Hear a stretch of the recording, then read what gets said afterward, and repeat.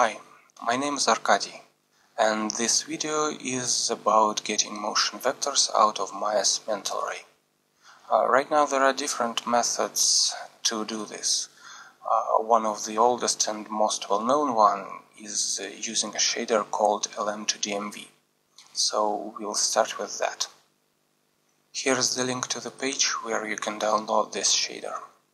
Uh, choose the operation system you need. In my case it's Windows 64-bit. And download the shader. Uh, then follow this link and download the Maya files. Installation is pretty simple. We've got these two archives. Let's start with Maya files. Uh, first, go to the Maya preference directory. Uh, by default, it's located in My Documents Maya. And in Icons folder, put XPM file. Uh, then in scripts folder put MEL file. Uh, now go to the Maya installation directory, mental ray folder, include and put a my file there. And from another archive put DLL file into lib folder. That's it. We don't need them anymore. Now we need to restart Maya. Uh, first, let's check if we have Mental Ray plugin loaded. Maya 2MR MLL. Yes, it is loaded. Now in Hypershade, uh, in Create Mental Ray Nodes, Materials, we've got LM2DMV shader.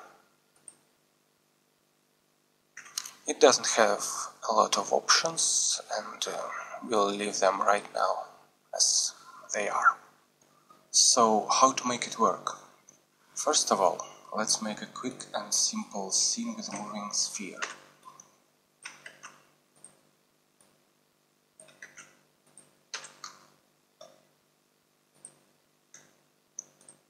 That's our main beauty render. To get motion vectors, we need to assign LM2DMV shader to the sphere. And also, we need to tell Maya to calculate motion data between the frames. To do that, we need to go to the Render Settings, Mental Ray Quality tab, and enable Motion Blur. We've got two options here. No deformation calculates animation of transforms only, like this sphere. And full mode uh, also takes into consideration deformations, for example, skinned characters, deformers, clothes, and so on.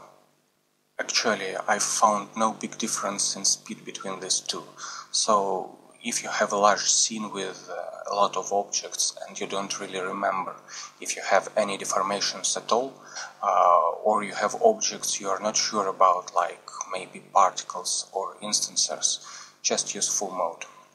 Not to produce any blurring, but still calculate motion data, we need to set shutter open and uh, shutter close attributes to the same value.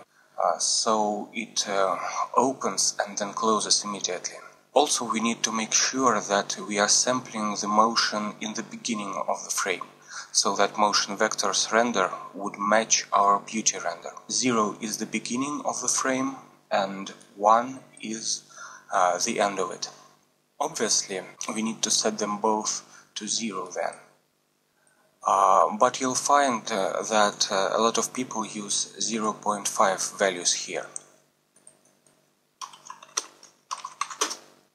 Uh, that works because we have an additional attribute located in motion offsets folder called motion back offset. Even if it's disabled, like right now, it still has an effect on shutter settings.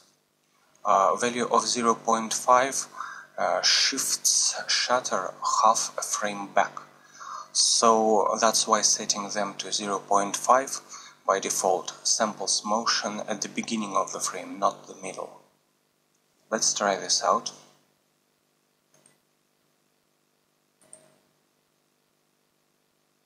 I forgot to keep the beauty render, so let's do that quickly again.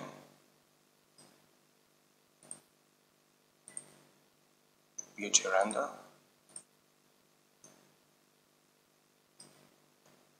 And motion vectors. And they do match. Let's check alpha. So values of 0.5 for shutter open close and motion back offset actually works. Uh, in some certain situations I've noticed that uh, these values can actually produce a little bit of shifting and uh, motion vectors uh, won't match beauty render any longer. Uh, so the better way to go is to set shutter open and close to the value of 0. Uh, now we need to disable motion back offset, zero it out, like that. But uh, currently uh, there is some sort of a bug in Maya. Uh, these attributes don't understand values of 0 we need to give it something really close to zero but higher than that. Let's add a 1 to the end of each one and re-render. Now we've got the same result, still matching. So that's the more precise way to calculate motion. Uh, since May 2009, we've got another, even more useful option, which is located in Options tab, uh, Force Motion Vector Computation checkbox. To use it, we need to enable that, and then we can uh, turn motion blur off. But we still need to keep an eye on this motion back offset attribute because it has an effect on the checkbox version also. So re-render, same result. Matching. This checkbox is uh, much easier to use and in certain more advanced situations like rendering passes it's faster.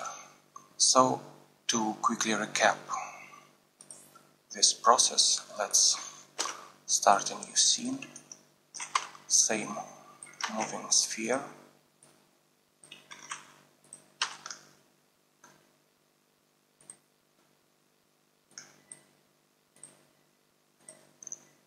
Beauty render and assign the new LM2DMV shader and to make it work we need to set motion back offset to zero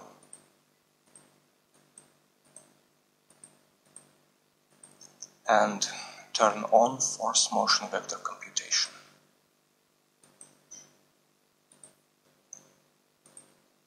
That's it.